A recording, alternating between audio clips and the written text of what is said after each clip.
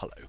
This lecture's uh, entitled Pedagogy, Andragogy and Transformative Change, and its purpose is to provoke some thought about the role of educators, uh, our role as university educators, and what our function and purpose is with respect to students' development as professionals. And we're going to do that by uh, looking at pedagogy and andragogy as concepts, looking at the learning theory uh, called transformative learning, and then touch on some more radical ideas by Paulo Freire and Bell Hooks, uh, and ask what our purpose and our function is with respect to developing our students, particularly as professionals.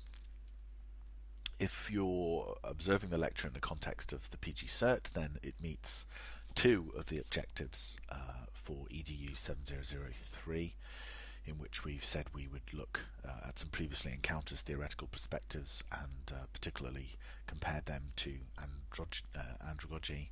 And secondly, uh, that we would look at adult learning theory, particularly transformative learning theory, and in the process uh, synthesize some previous work on deep surface and strategic approaches.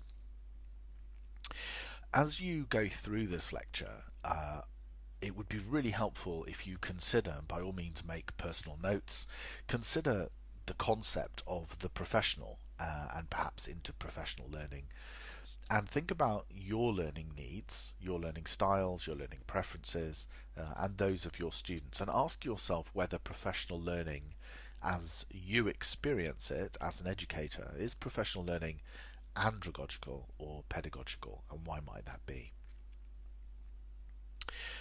So, at its very simplest, people often talk about pedagogy as being about children and andragogy as being about adults.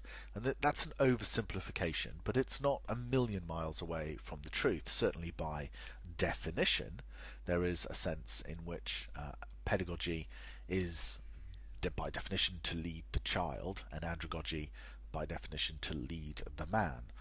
Uh, if you're interested in the Greek etymology, uh, it's uh, all available online.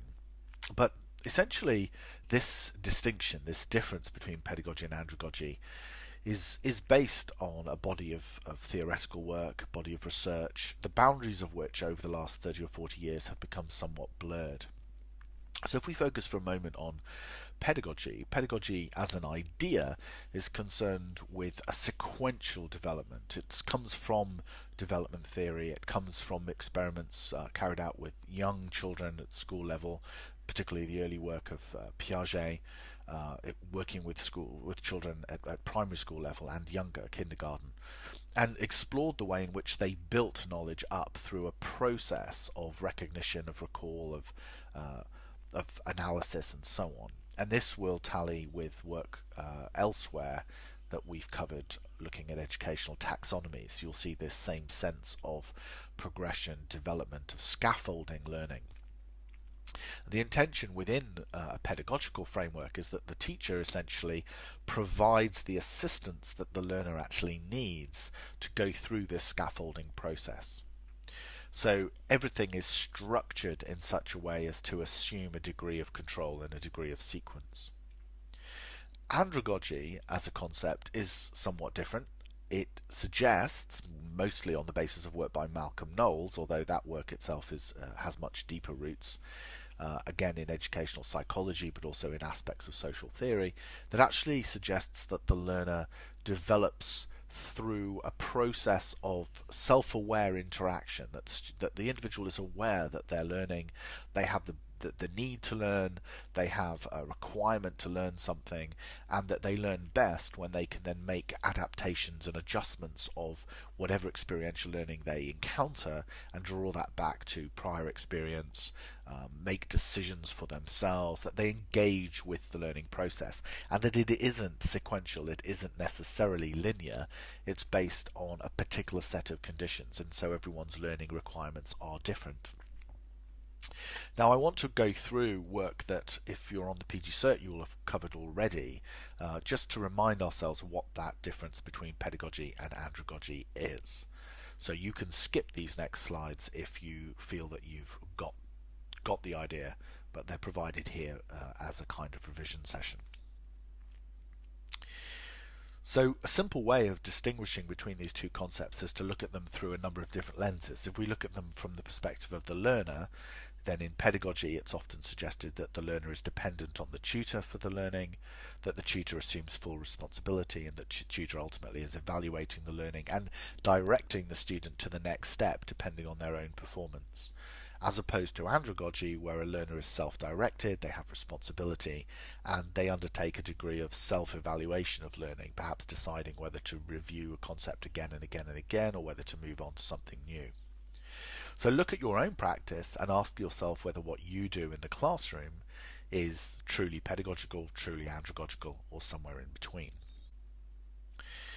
Then we can look at the role of learner experience in terms of pedagogy and andragogy. So, in pedagogical terms, we might suggest that the learner has very little experience that can be tapped into and is wholly dependent on the tutor, as opposed to an andragogical concept where the learner brings with them experience that's tapped into, and indeed learners themselves become resources for each other. Where there are differences in those experiences, that creates an opportunity for further learning. Diversity in experience is seen as a, a good thing, uh, not as making a class difficult to teach, but rather as providing opportunities for teaching. And importantly, and we'll come on to this in a moment, experience is something that uh, helps to develop a sense of the learner's self identity. That if they can identify their experience and articulate their experience as the basis for future learning, that helps them uh, in, in many ways to learn in a more meaningful sense. We also have a distinction in terms of the individual's readiness to learn between pedagogy and andragogy. In pedagogy, it's often suggested that students need to be told what to learn. Uh, indeed, they might have to be told to learn at all. Uh, and that they're actually told how to advance, how to progress. The steps are laid out for them individually, as opposed to an andragogical concept where essentially it's some need of change, some sense that there is a requirement to learn that actually triggers that readiness to learn. And need to know becomes central to that individual's sense of their own identity and their own development. They want to be a particular profession. They want to be a chiropractor. They want to be an accountant. And their need to know is about fulfilling that sense of identity the individual has the ability to look at gaps in their own knowledge and their own experience and decide where they want to encounter learning. Now, again, it would be useful for you to be looking at these differences and saying, how do you teach? Are you teaching in a pedagogical concept or, or are you teaching within an andragogical uh, framework? What, where are you as a teacher? Where are your learners? Are they waiting to be told? Are they able to identify their gaps and plan their own learning? How does this play out in your personal experience? Then we can look at pedagogy and andragogy through an orientation to learning. So, pedagogically, learning is a process of acquiring something that the tutor already has. The tutor's decided what the subject matter is, and the content is sequenced in such a way as to make the subject more understandable within whatever the discipline conventions are, but it's controlled by the teacher. As opposed to in an andragogical idea where the learner actually decides to engage with the learning must have already deemed it to be relevant in order to want to orientate themselves to that learning and that they will manage and organize that learning around life and work rather than around the subject matter itself. And finally, the idea that the motivation is different between pedagogy and andragogy that primary motivation for pedag- uh, within the pedagogical framework will be one where essentially there are external pressures, a requirement to go to school, but perhaps also a fear of failure, competition for grades, and so on, as opposed to an andragogical idea of something internal, where there is a, a strong sense of self actualization, a strong desire to grow as an individual. And again, I'd ask you to think about your own classrooms, think about your own practice, and ask whether, in fact, what you're doing is pedagogical or andragogical. Now, one way of summing this up is to look at Malcolm Knowles, who's often thought of as, as I say, the founder of this notion of uh, andragogy. And he identifies four dominant themes that within an andragogical framework, adults need to be involved in the planning and evaluation of instruction that their personal experience, including mistakes they've made, is a basis for learning activity, that they are most interested in subjects which are immediately relevant to them, and that adult learning at its best is problem centered rather than content orientated. Now, it would be interesting to think about each of those four and think about a typical class that you teach and ask whether, in fact, do those facets of adult learning feature in your classrooms. What I want to look at now is something that's related. So we've talked a little bit about pedagogy and andragogy. That was a revision session essentially. And I now want to think about something called transformative learning theory. This is a theory developed in the 1980s by someone called Jack Mezirow, and it's been much talked about, much critiqued, and there's a number of uh, writers that have done work and development on this since. This was work that originally focused around women returning to work after long periods of absence from formal education, and he studied the way in which they learned effectively as adults. And he found or he identified these 10 stages to transformative learning where a student experienced some kind of disorientating dilemma, went through a process of self examination, of doubt, and as a consequence, a feeling of alienation or sometimes inadequacy, that sometimes that was then projected or related to uh, anger in some ways, discontent with others, changing anger at the way the world had changed and perhaps left them out uh, of, of whatever developments they had identified. That they then start to find ways in which they could justify changing their behavior and they build confidence in those new ways of behaving.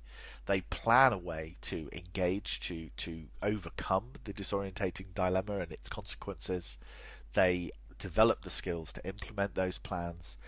They go through a period of experimenting with some new position, some new frame of reference that they've developed as a result of this process, and they then reintegrate that new learning into their practice.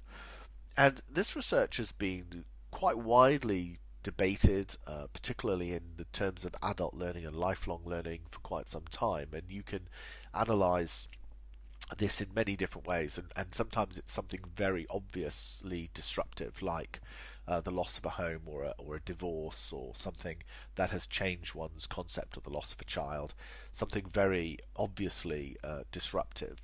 And you can see a pattern or a parallel between this kind of idea of personal learning, transformative learning, um, and many of the kind of counselling theories and, and, ideas that were circulating in the 1980s as well. But it's been very powerful in educational terms, and it raises some quite interesting issues about the degree to which you design learning in order to achieve personal transformation. Do we challenge and disorientate our learners at the outset? Do we seek to disavow them of any misconceptions they have? Do we look to disrupt their assumptions and then take them through this process?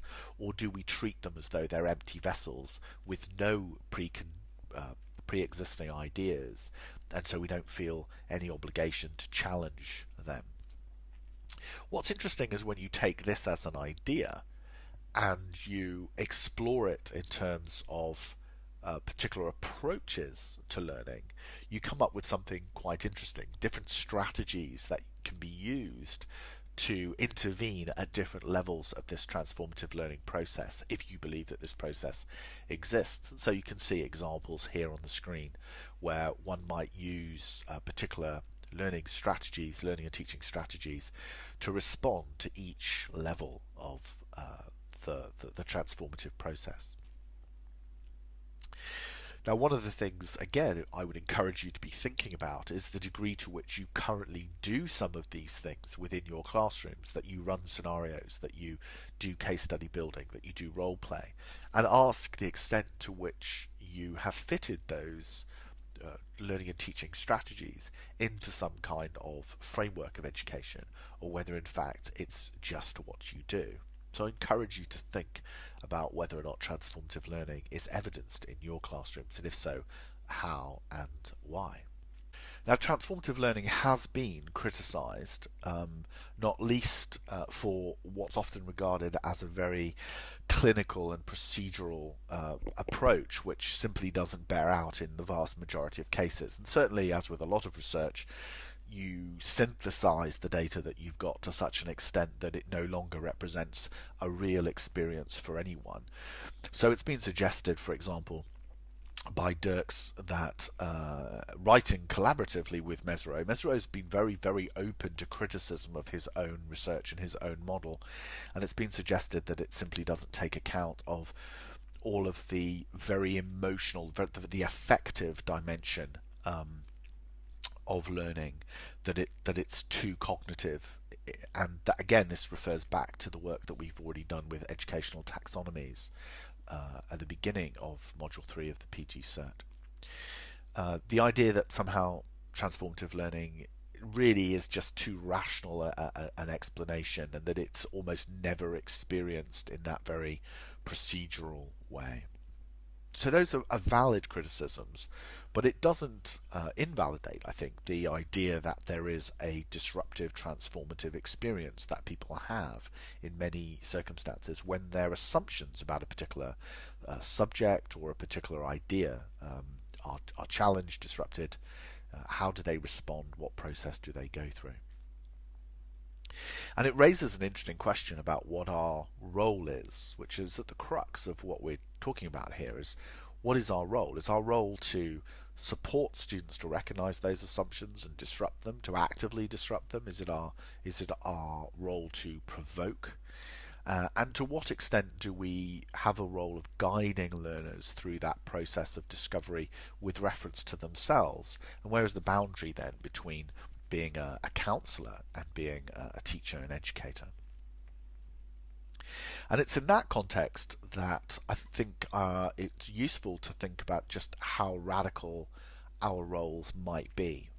And this is a, a little bit of an excursion into philosophy, but I think it's important to consider what our role might be, given that increasingly the content that we used to be the guardians of, that we used to essentially have in our possession and that students came to us for that content knowledge, that they no longer need to come to us for the vast majority of that content knowledge. Uh, you hear more and more people say that it's it's all on Wikipedia or it's all available on the internet. There's a YouTube video for practically everything. Why would I go to class when I could download a much more succinct 12 minute version of something than go to a seminar for an hour? And it's in that context that I just want to challenge you to be thinking about different types of radical education and different thinkers, different theoreticians who have posited uh, education in perhaps a different way. And some of you may recognize the names. Some of some of this will be new to you. The first is uh, Paulo Freire, who's a Brazilian, uh, the late Paulo Freire, who uh, has been very influential on a whole generation of educational planners and philosophers. And he basically sees the existing pedagogies, or saw the existing pedagogies that were prevalent in the 70s and 80s, as reinforcing the notion of the the disadvantage by identifying learners as empty vessels, as having nothing, and needing to be educated, that there was almost an immediate subjugation of the learner in a way that was, was very negative. And he just, he talks about the banking concept. So there's this quote here that education essentially transforms students into receiving objects. It attempts to control their thinking and action and leads men and women to adjust to the world. It inhibits their creative power. This idea that education is about conformity, that education is not in any way value neutral, that you aren't just delivering content, that any piece of content has associated with it any number of uh, epistemological concerns, any number of political ideas, uh, all kinds of social, moral labels, baggage that, that go with it, and that you aren't just ever teaching content that it's the process itself that is potentially liberating. So Paulo Freire has been very um, controversial, uh, but is also widely quoted and uh, talked about in terms of educational policy and development as people have tried to find ways of coping with uh, social change uh, and, in some cases, social disruption through education. The second uh, individual that I think some of you may find very interesting to engage with uh, is an American uh, who writes under the name of Bell Hooks, and uh, a little bit like uh, Cummings is is always spelt with lowercase, so they're not it's not misspelling when you see uh, Bell Hooks spelt all lowercase. Uh, her name's Gloria Jean Watkins. She's a an, an author and educator, uh, a feminist philosopher, uh, a black activist in the United States, uh, an, an, advocate of a great many uh, social causes and, and basically tries in her work to link all of these things together. She's a very wide ranging writer and a very holistic thinker. And she sees the classrooms in which we teach as potentially places of, of social constraint, places of subjugation, as does Freire, but also of potential liberation. And what she's arguing is that students uh, and teachers need to come to an understanding of what the nature of that power relationship is, and that teachers need to give up control, give up power over students in order to liberate students' inquiry, uh, their creativity, their enthusiasm.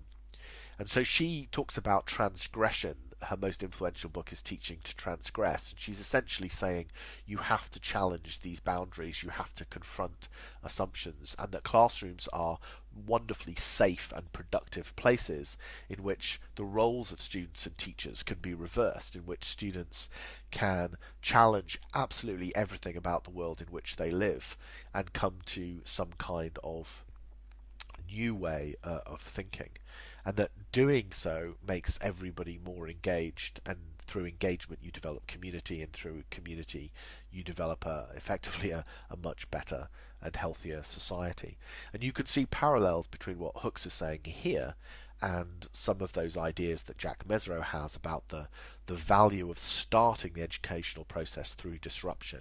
So whether we think about it in terms of disruptive dilemmas, whether we think about it in terms of Freire's critical pedagogy or we think about Bell Hooks' transgression, essentially we do need to ask ourselves the question as to what our role for students is. How do students currently perceive us and do they perceive us accurately? Are we social critics? Or are we simply perpetuating whatever the conventional power structures and authority in our particular discipline or profession is? Uh, and are we in the business of freeing up our students' minds or having those minds conform to the particular professional environment in which they're going because we feel we know best or because we understand that landscape and they want to join it or become members of it? And is that important? Is it important to us as educators to know what our role is? These ideas are quite far-reaching. None of these uh, books are uh, or articles are required reading on the PG Cert, but they are interesting for those of you that want to follow them up. Um, Freire and Hooks are interesting and provocative reads, uh, and always worth worth looking at.